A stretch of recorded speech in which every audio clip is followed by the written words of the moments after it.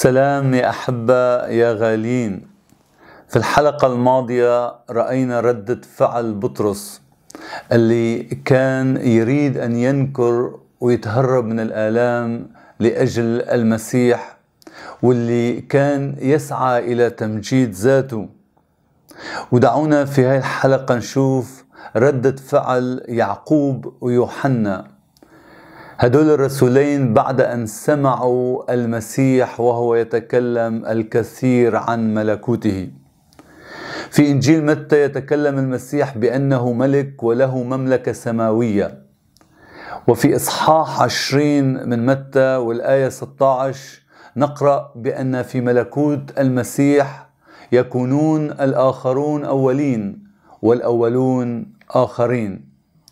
يعني اللي بيفكر حاله شغلة كبيرة وبأنه قدم شيء عظيم لله وبأنه بأعماله رح يدخل هاي المملكة وبيشوف نفسه أفضل من الآخرين هذا رح يكون في الأخير. لكن اللي بيقدم الآخرين على نفسه ويكرمهم ويفضلهم على ذاته فهذا بيكون الأول. لكن خلونا نشوف شو عملوا الأخين يعقوب ويوحنا بعد ما سمعوا هذا الكلام وعاشروا المسيح ثلاث سنوات وهو يعلم عن مملكته السماوية. وهذا ما نقراه في متى الإصحاح عشرين. جابوا أمهم حتى تتوسط لإلهم عند المسيح. وطلبت من المسيح في الآية 20 والآية 21 هذا الطلب. مكتوب حينئذ تقدمت إليه أم ابني زبدي مع ابنيها اللي هن يعقوب ويوحنا. وسجدت وطلبت منه من المسيح طلبت منه شيئا. فقال لها ماذا تريدين؟ قالت له قل أن يجلس ابناي هذان واحد عن يمينك والآخر عن اليسار في ملكوتك. فالتلاميذ الآخرين اغتاظوا من طلبهم. تتخيلوا الواسطات؟ كيف ناس بتاخد دورك وانت بتسكت غصبا عنك؟ فالتلاميذ كمان اغتاظوا من هدول التلميذين بسبب طلبهم. فدعاهم المسيح وقال لهم في متى عشرين من الآية 25 إلى الآية 28 أنتم تعلمون أن رؤساء الأمم يسودونهم والعظماء يتسلطون عليهم فلا يكون هكذا فيما بينكم. بل من أراد أن يكون فيكم عظيما فليكن لكم خادما. ومن أراد أن يكون فيكم أولا فليكن لكم عبدا. كما أن ابن الإنسان أي المسيح لم يأتي ليخدم بل ليخدم وليبذل نفسه فدية عن كثيرين.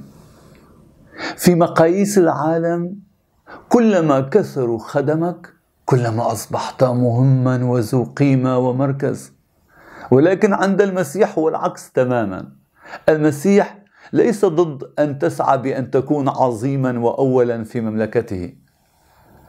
أعمل مثله إذا كنت تريد أن تكون عظيما.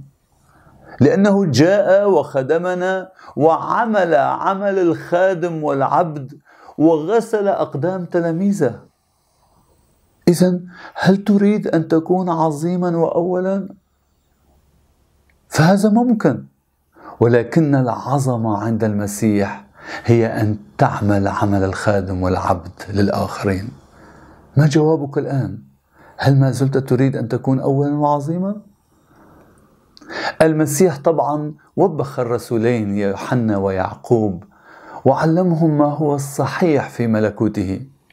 ونحن نعلم أن يوحنا ويعقوب تركوا كل المناصب الأرضية وتحرروا من الفكر الأرضي حول موضوع المناصب والعظمة. وخدموا المسيح حتى موتهم. الرسول يعقوب قطعوا رأسه. ورسول يوحنا نفوه إلى جزيره بسبب إيمانهم وشهادتهم عن المسيح. إلى أي عظمة تسعى أنت؟